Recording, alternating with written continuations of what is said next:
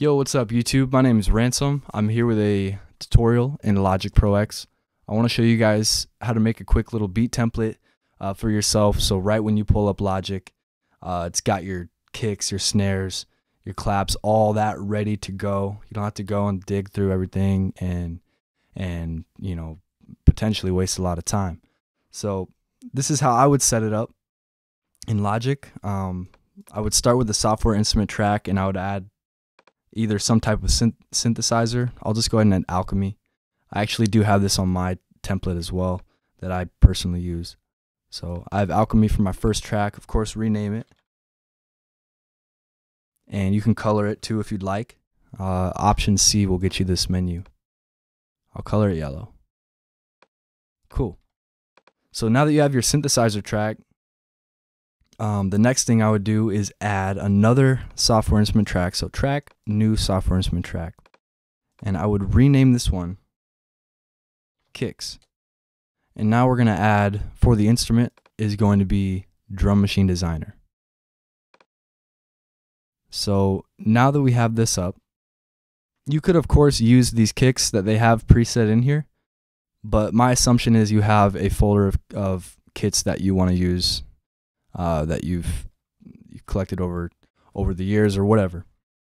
So I'm going to close out of that and I'm going to slide the window over here and hit F on my keyboard. That's going to pull up the uh, Finder window so we can search for some sounds. I'm going to go to all files. Uh, I know where my kits are, so I'm going to go to my desktop in this folder and other sample kits. So once you get to your folder, uh, something that I would recommend doing if you got multiple folders that you like to use on a on like a daily basis, but they're just in different spots for whatever reason or something like that. You can actually right click on these folders and go bookmark. You can bookmark these folders, and once you bookmark them, you'll actually get an extra tab up here. You click that tab, and it'll have all of your folders stored, kind of of what you're going to be using the most. So once you got that set up, uh, find a kick. So we're still in kicks here. I'm going to go find some kicks. Cool. So I would recommend um, choosing, you know, take this process slowly and figure out what kicks you like the most. I would recommend filling the first couple rows, two or three rows of, of just kicks. So just for this tutorial, I'm just going to select, you know, just a handful of these and drag them in here. So these first two rows, that's a good a good starting point. So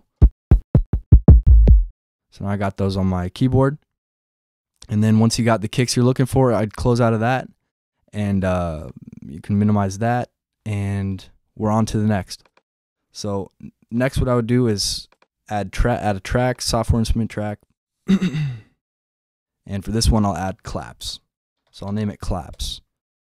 And and the same thing, I'll add drum machine designer on this track. And then I'm close out a library. And I'm gonna hit F on my keyboard and I'm gonna find some claps. So again, I would go through and find the claps that you're gonna be using that you think you would be using the most. I'm just gonna select a few and drag them in here and drop them. Cool. Cool. And uh, yeah, I would just continue this process with all of your drums. Now you can add, uh, for now we have kicks, claps. You could add snares, hi hats. Uh, you know, even if you wanted to, closed hats, open hats, cymbals, percussion, effects, all that stuff in Drum Machine Designer on their own track, like we did with the kicks and claps here. So once you have all those good to go, uh, you could also get your sends uh, ready to go, such like your reverbs, uh, delays. So in order to do that, come to the mixer. You can use the letter X, and uh, for sends here, we'll just go send uh, bus, and we'll just make some some sends. So we'll use bus one, and on the bus one track here, we're gonna add, uh, let's just say a reverb or something. Cool. So we got that up you can tweak this setting however you want. However you do have it tweaked, that's what it's going to be saved as. And then, uh, of course, I would come down here and rename it um, from whatever aux it is to, say, reverb, or it could be as specific as short reverb or long reverb or whatever. And then you could add as many buses as you want. I mean, you could add some delays, some quarter note delays, some like delay. And then on this track, add the echo, which is delay, echo. And then you have, you know, some extra buses set up so you don't have to go and do that every time you open a new session. You'll have them ready to go and you can just add them and you're good to go. You can also add something on your on your stereo out if you're interested in having some kind of analyzer on there. You could come here and go metering and uh, multimeter, and this will give you an analyzer which we, you can see, you know, what your waveform is looking like and everything like that. So I would recommend putting that on your master track. So that's on there ready to go. And then at that, I mean, you're pretty much done. If there's uh, other things you want to add, I would, of course, you know, if you have a certain tempo you like to have it at, change it like that. So, you know, maybe 85 or 90 or double time, whatever you want. And then I normally like to turn my metronome on so when I open Logic, it's already ready to go. And I'll also change my cycle length to eight bars, just so that's also ready to go. But other than that, uh, the next step, once you have all of that ready to go, would be File, Save as Template. And in here, you can rename it whatever you want. You could name it, you know, my template, my custom template, you know, one or something in case you want to make more. Uh, or it could be a, whatever you want save it. And uh, so I'll just go ahead and save this for an example. Save. Then what I would do is come up to Logic Pro X, Preferences, General.